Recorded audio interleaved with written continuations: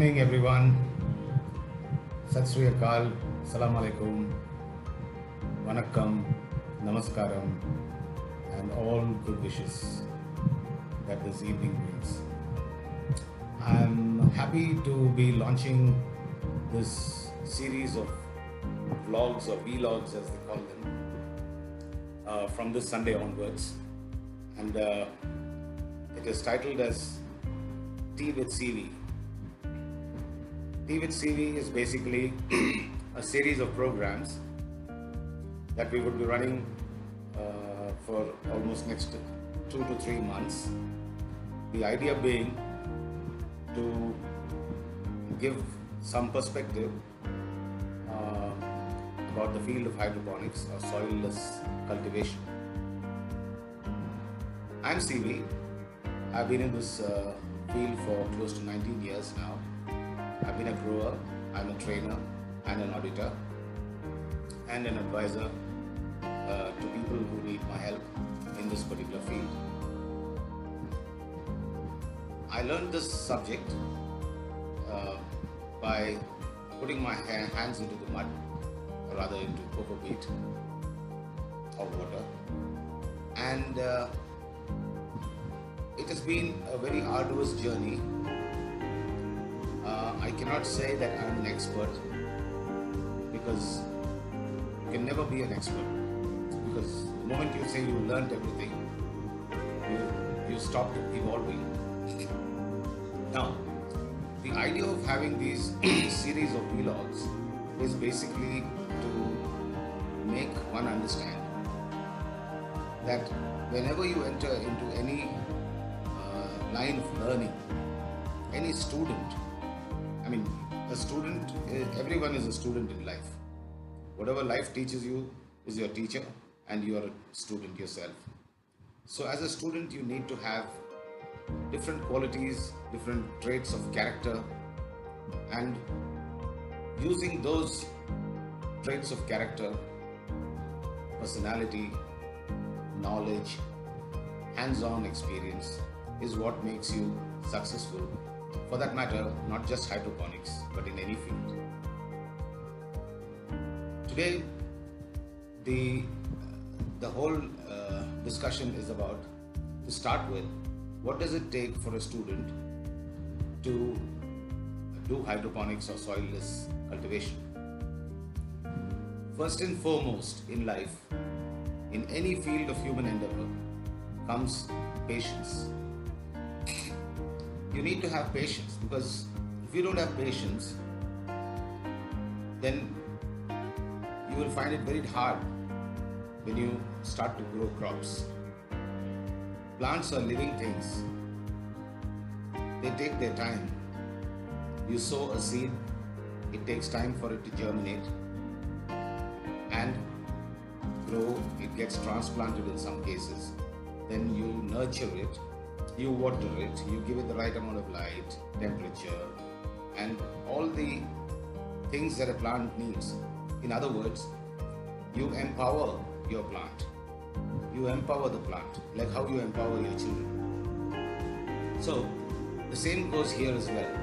You've got to be very patient with plants. You cannot be in a hurry and wonder why is my plant not growing fast, or why is why is not the flowering happening at the right time It's not going to happen that way. There are plants that grow and are ready to harvest in 45 days. There are plants that start to bloom in maybe 60 days. There are plants that flower fruit maybe in 75 days or 90 days. And there are some sorry, there are some plants that are harvested even after three years. So you need a lot of patience. It's like you know you plant teak trees. Teak trees are not harvested one year after planting.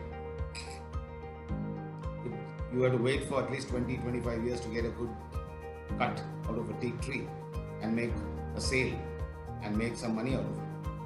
So, therefore, patience is a virtue and you have to be patient with your plants. You won't believe it, if you are impatient with your plants, the plants can understand that. They need love. They don't like to be scolded, they, they like to be cared for. The only difference between us and them is that we can talk and walk, they can't do that. So they're at your mercy. They're at the mercy of the elements. And the more you take care of them, the better they grow. Plants are one of the most beautiful things in the world. They sometimes surprise you by giving you more yield than what you could have expected. So, patience is a very important virtue, and we must keep that in mind. And you, a man who's impatient, is definitely not the right person for getting into agriculture. Then comes perseverance. You need to persevere. You need to work very hard with plants because plants need your attention, especially in soilless agriculture or soilless horticulture. The plants need you to be persevering. That means you look after their every single need. It's them before you. You don't go for your lunch or your dinner or your breakfast without having taken care of them first. So, perseverance and persistence. You've got to persist. You know it's hard sometimes, but you still need to persist. You just can't give up. You can't say, oh, it's all too much of work and uh, you know it's hard for me to be with them all the time and things like that. So, if you do not have the qualities of persevering and have and persisting, what will happen is you will never be able to empower your plant, look after them, and get the best out of them. Having said that, the other thing that we really need to have is something called punctuality. You can't come to your farm at 12 o'clock in the afternoon and say, Hi, baby, to your plants. How are you?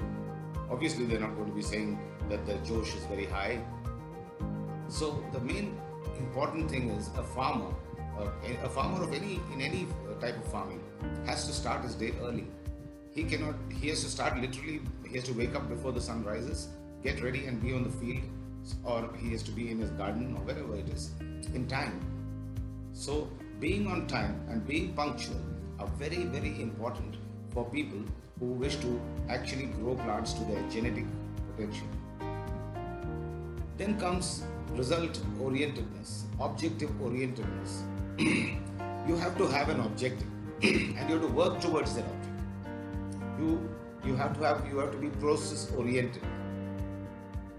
बहुत काम करना पड़ता है process important है that that procedure orientedness can only come when you're a disciplined person that means you have a certain discipline there are people who do random things you can't do random stuff you have to do everything in a certain way. There are certain things that you do as a matter of routine and you have to do them and there is no shortcut there. You have to make sure that you are process oriented you do not miss any step. If you miss a step you're going to be in trouble. So you're going to be process oriented uh, procedure oriented and you should be a lover of record keeping right from the day you plant a seed or rather buy a seed start recording write down where did i buy the seed from what batch number what is the expiry date for the seed, and all the other details that come with the seed pack.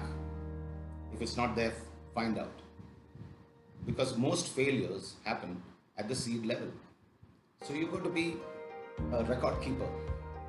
And if you're a good record keeper, what happens is over five or six or ten crops, you can always go backwards and look at what you did, understand what mistakes you made, and correct them so that the next crop is better than the previous crop. After all, continuous process improvement is a very important uh, thing in any industry or even in life for that matter. So, we have to be uh, good record keepers. We should maintain our charts and do all those kind of things. And one of the things that I've seen with people is before they start, they failed there's this strange fear of failure. There's this strange fear of failure. If you if you start thinking that you're going to fail, you've already failed. You failed before you start. You have to be confident. You have to know why do you do what you do. The results are never seen first. the actions are taken first. You do the right thing, and based upon doing the right thing, you're you are on the right path. You must get good result. Okay, there are times when you do your best and you still don't get a result. But in the process of learning, in the process of learning, one must understand that it is very, very important that we are ready for failure. Now, many people say nothing succeeds like success. I say nothing succeeds like failure. Every time you fall down, you just get up and brush off or you know, dust away all the muck on your pants and get going. So what if you fail the first time, second time, third time? Keep trying. And a person who has that determination has to make it, has to succeed in what he does. Nobody is born a successful person. And what is success? Success is doing small things in a big way. And that's what is very important even in this particular field. Therefore, it's important that we never give up. Never ever give up. If you made a mistake, go back, analyze, find out what went wrong, what could have gone wrong. You have to be inquisitive and don't be hesitate, hesitant to ask someone. There's no harm in asking anybody something that you don't know. And it's okay not to know everything because you're not supposed to know everything. But yes, you should be you should be inquisitive. You should ask people. Definitely, you must read books and good books. Like you can, I don't know if you can see right behind me are books on plant pathology and plant physiology and entomology and things like that. I cannot obviously myself know so many different species of plants, species of pests, insects, fish. It's not possible.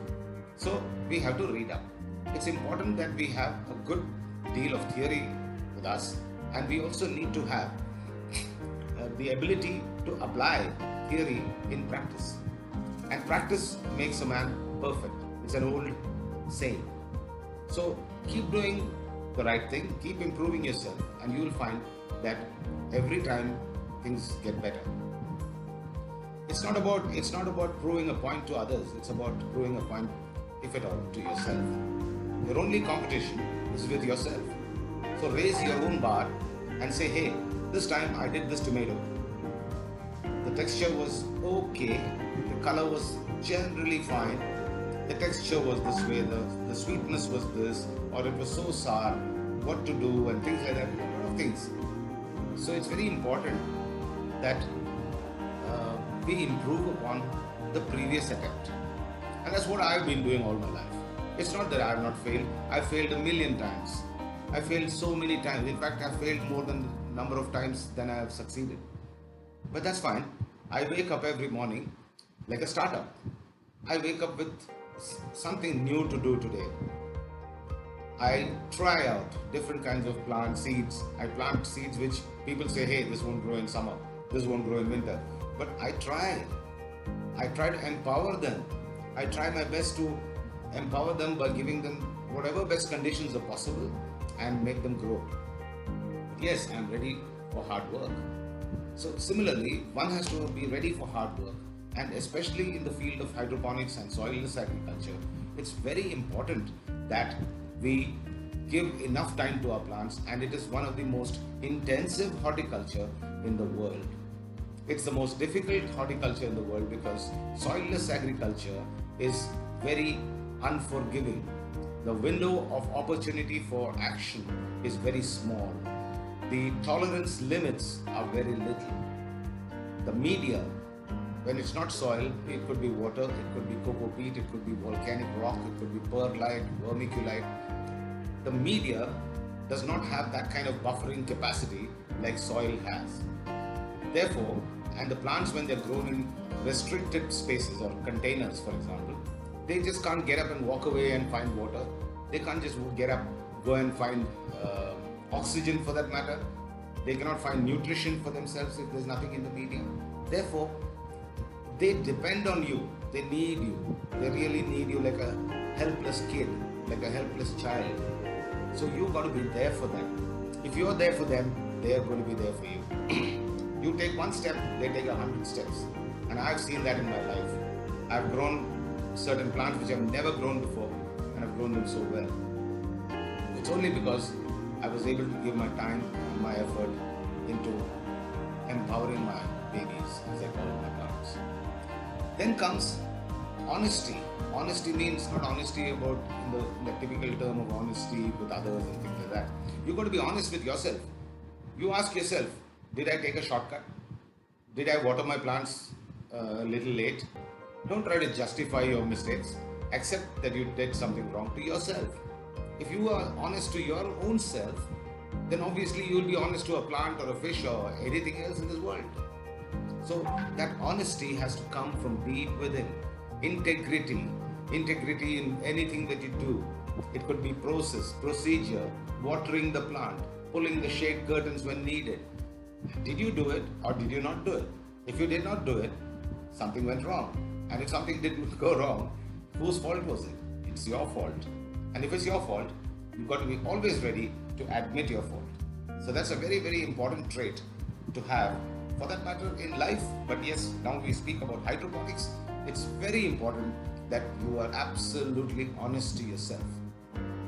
If you were to be using integrated pest management, which means you use bio remedies, biological remedies which are safe and organic, and you were not diligent enough to actually see a pest attack when it just had occurred, or a disease or a fungal attack, and it's gone beyond a certain threshold, and you need to take action. But the only action you can take is to use a chemical pesticide.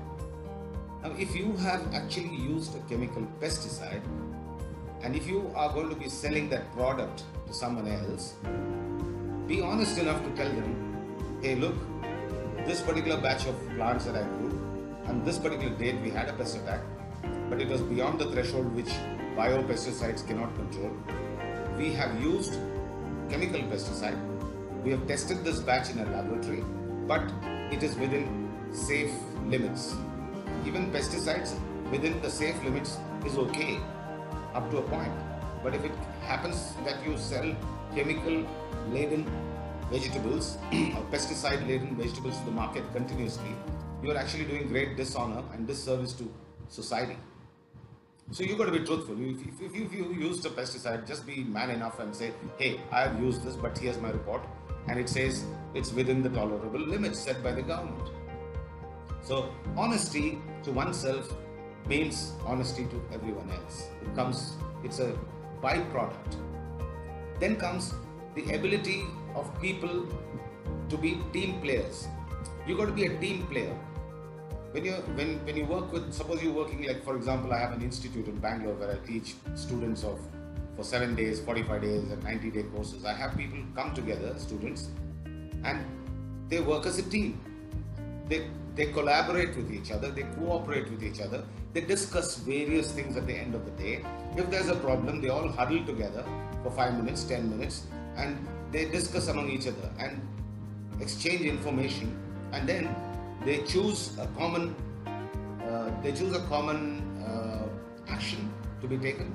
They take the action, they observe, they record, and they keep moving on. So team playing, uh, team uh, work, and team player, or being a team player is a very very important, very very important thing. One negative person in a team can be enough to spoil the entire show. So everyone's got to pull together not in all directions but in the same direction so that you're moving towards your objective and your goal. Like I said, there are no shortcuts in life. There are no shortcuts even in growing plants. You cannot afford to take shortcuts because taking shortcuts can lead to or is a recipe for disaster. So keep this in mind because if you have only when you have all these qualities you are actually fit to start your journey into this wonderful world of soilless cultivation or hydroponics.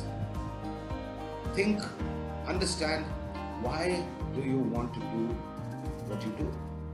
Find your why. Know your why. Why are you doing it? Are you doing it just for the money? What is your object? You must make money in agriculture but at the same time, you got to have skill. and that skill can is what actually leads to the money. But people are first doing excel sheets. They're looking at all the profits that can come from uh, growing a certain crop. And the numbers. The numbers are on paper but the growing is on the ground. So what happens on paper and what happens on ground are distant from each other. On ground is very different. On paper is very different. So one should be ready for all kinds of challenges that come and growing plants can pose a lot of challenges in growing plants in, in, in, the, in the crop cycle.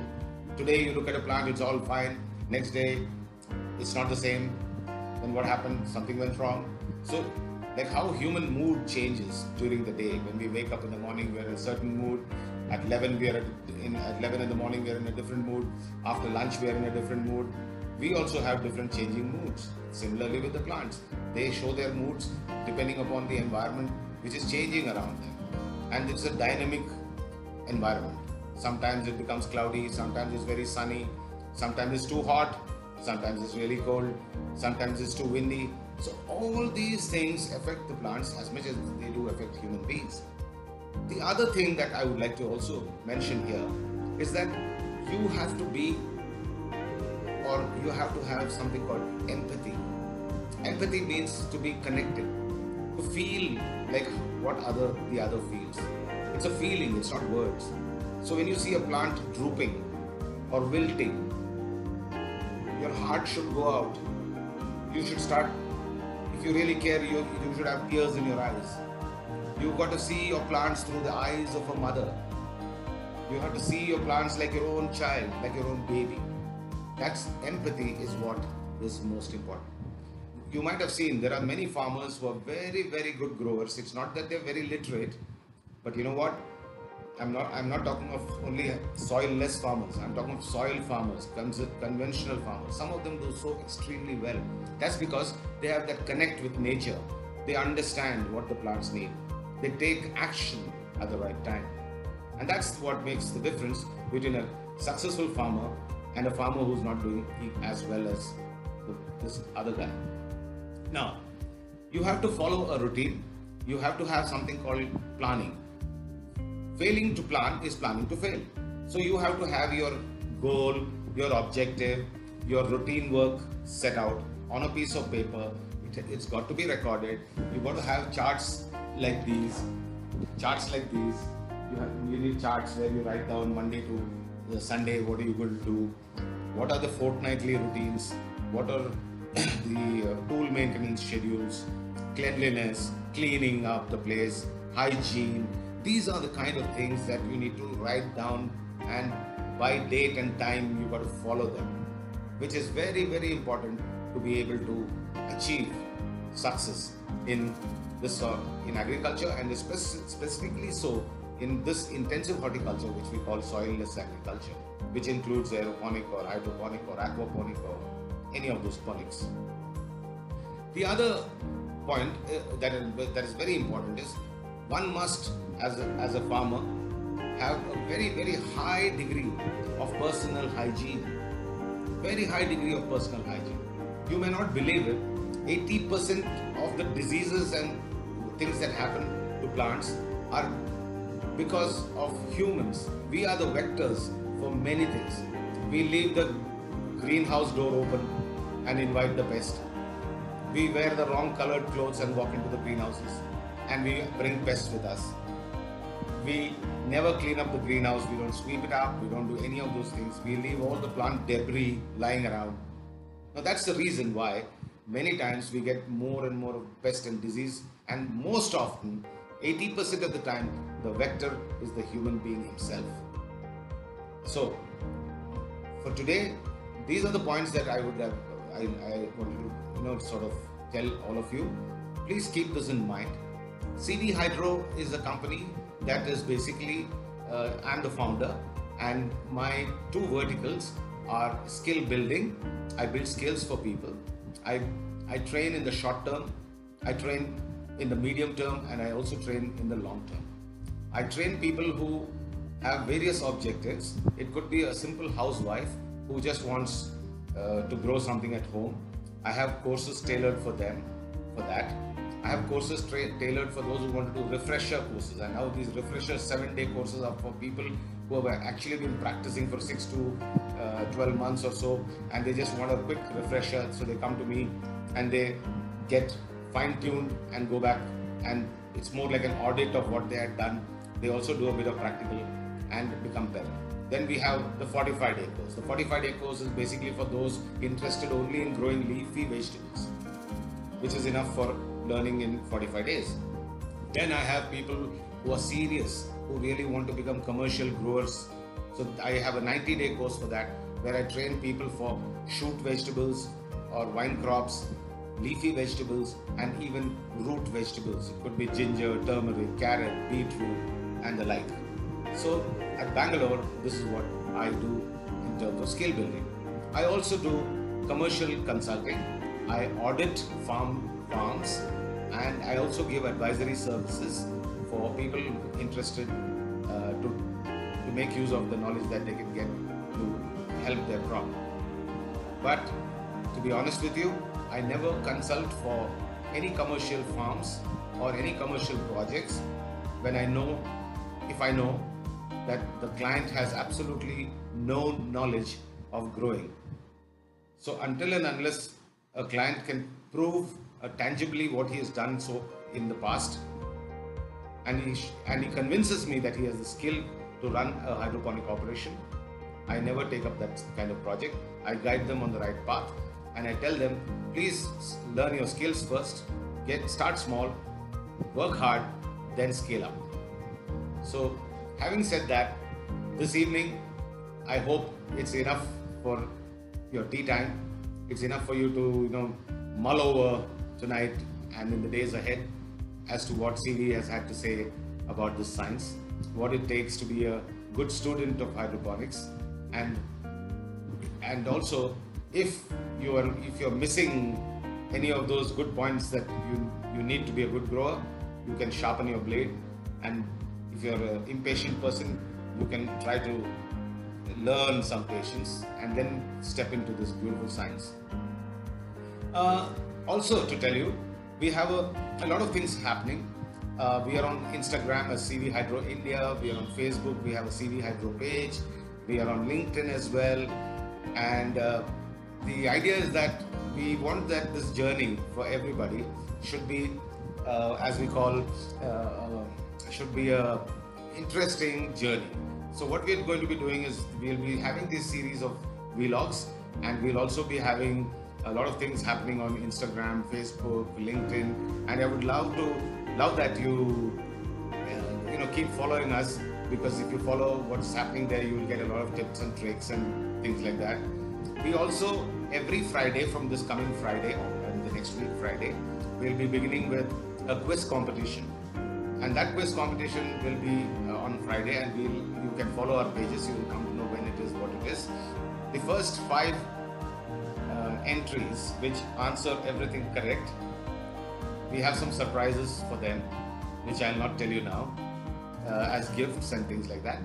Um, so we'll be having some interesting stuff like that, uh, quiz competition, and you know those kind of things, and some trivia basically and also on Saturday, uh, on the Saturdays, and every Saturdays we have uh, we have uh, again you know on LinkedIn we'll have some tips and tricks, and Fridays at Facebook, Instagram we'll have some trivia like the quiz and stuff. Thursdays will be all fun facts, a lot of fun facts, and some humor in in farmer uniform, if you would call it. Then we have some lovely little memes and stuff on Wednesdays on Facebook and Instagram as well.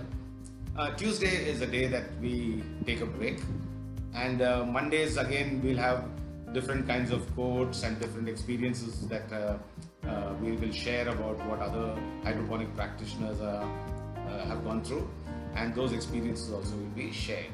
So I'm very happy.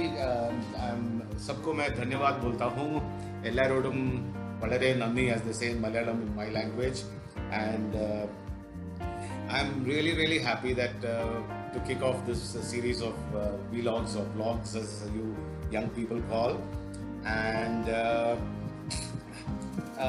I just found a reason, you know, to have some tea with you on Sundays, and it's happy for me to get a chance to connect with uh, uh, so many uh, hydropreneurs, as I call them, and aspiring uh, people. And uh, it's been wonderful talking to you for the last half an hour. And please keep coming back to listen to more interesting things as we move forward. For those of you, again, as I said, who are serious, uh, I have uh, because now it's a lockdown period and there's a lot nobody can actually come physically to learn with me. Uh, I offer my workshop video uh, at a 75% discounted price of only 1,500 rupees uh, for those who would like to buy them. You can once you pay the money, you get a link on Google Drive, and you just download those theory uh, uh, classes of which run almost as long as nine hours and covers a lot of important things which you may or may not find on YouTube and other places. And also, you will find me not speaking the rosy side of the science. You will find me sometimes, you know, being very harsh and I saying, you know, you got to do it this way, you got to do it that way. But it's not to discourage you in any way. It's only meant to make you a successful farmer. And at CV Hydro, our only mission is to make for good farmers. And believe me, there are umpteen number of ways in which you can do this farming.